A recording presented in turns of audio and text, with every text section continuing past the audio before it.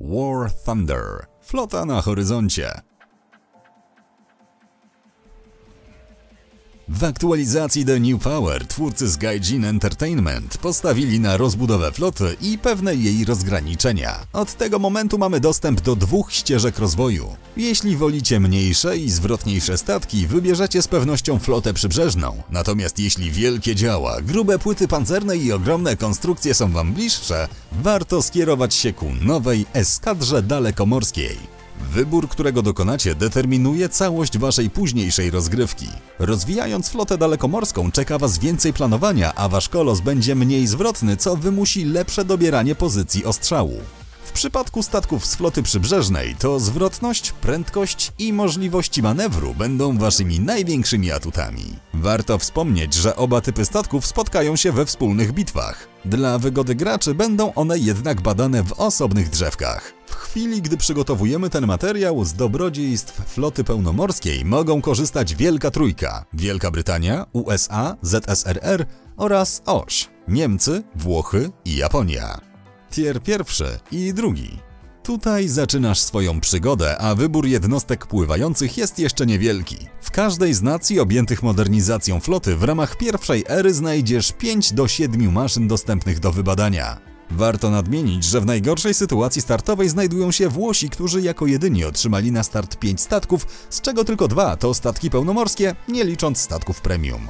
Jeśli zdecydujecie się skupić na żegludze wielkimi okrętami, warto zapoznać się z siłą niemieckiej Kriegsmarine czy brytyjskiej Royal Navy.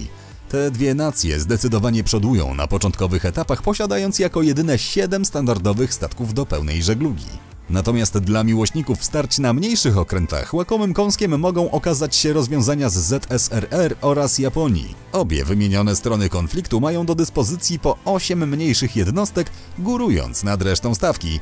No prawie. Royal Navy dysponuje dziewięcioma statkami w tej klasie, ale czasem warto dać odpór brytyjskiej hegemonii. Dla fanów wielkich jednostek polecamy Royal Navy i Kriegsmarine, a ścieżka kariery we flocie przybrzeżnej czeka Was w Japonii i ZSRR. No i niech ktoś przygarnie Włochów po tym, jak ich potraktowano. Tier trzeci i czwarty. Kolejne dwa stopnie rozwoju floty to etap, na którym obecnie spędzicie najwięcej czasu. To tutaj kształtować się będą wasze umiejętności dowódcze oraz wyklaruje się preferowany styl rozgrywki. Wiedząc o tym, deweloperzy odpowiedzialni za War Thunder postanowili udostępnić w tym miejscu większość krążowników dla floty pełnomorskiej oraz opancerzonych kanonierek dla floty przybrzeżnej. Rozwijając swoją armadę należy zwrócić uwagę szczególnie na kilka ciekawych rozwiązań w niemieckiej flocie przybrzeżnej, która otrzymuje unikatowe w skali gry barki przeciwlotnicze i pływające baterie artyleryjskie. W ogólnym ujęciu do wachlarza wybieranych przez nas maszyn trafiają ciężkie i lekkie krążowniki dla floty dalekomorskiej, a w przypadku flot przybrzeżnych kutry różnego typu. Dozorowe, torpedowe oraz kutry do zwalczania okrętów podwodnych. Mimo tego, że ostatnia ich grupa jest nieliczna, ich pojawienie się może sugerować przyszły rozwój okrętów podwodnych w War Thunder. Włosi po raz kolejny plasują się na końcu stawki, jednak tym razem Amerykanie i Rosjanie także mają niewielki problem. To nacje, które przed ostatnią na chwilę obecną piątą erą floty nie otrzymały ciężkich krążowników. Tier 5. Ostateczny sprawdzian dla wszystkich kapitanów. Tutaj zbierają się ci najzacieklejsi i najzdolniejsi, a szczury lądowe nie mają wstępu. Nowości dotykają tu obu rodzajów floty. W przybrzeżnych flotyllach przygotujcie miejsce dla fregat i kanonierek.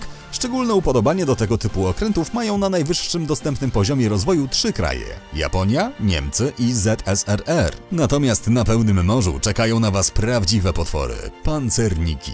Ci z Was, którzy dotrwali do końca, mogą zasiąść za sterem największych statków tak ikonicznych, jak chociażby brytyjski Dreadnought czy rosyjska Poltawa.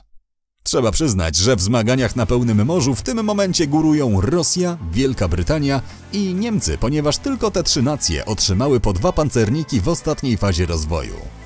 Dodając do tego mocny wachlarz okrętów przybrzeżnych, zdecydowanym zwycięzcą na poziomie piątym wydaje się ZSRR. Warto jednak zwrócić też swoje oczy ku marynarkom japońskiej i niemieckiej w temacie mniejszych jednostek.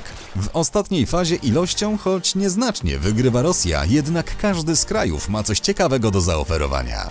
W ten sposób dotarliśmy do końca zestawienia floty War Thunder. Trzeba przyznać, że obecnie zastosowane rozwiązania i podział na flotę przybrzeżną oraz dalekomorską pozwoliły na poprawienie progresu gracza, a co za tym idzie, doświadczenia płynącego z rozgrywki.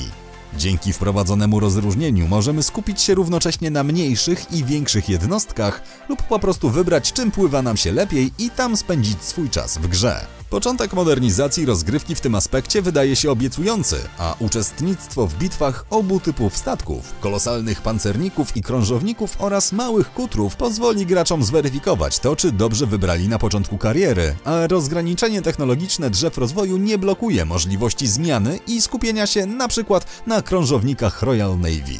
Obecne prace to, mamy nadzieję, pierwszy krok w dobrą stronę przy flocie w War Thunder. A teraz, wybaczcie, ale chyba zaczyna się ostrzał.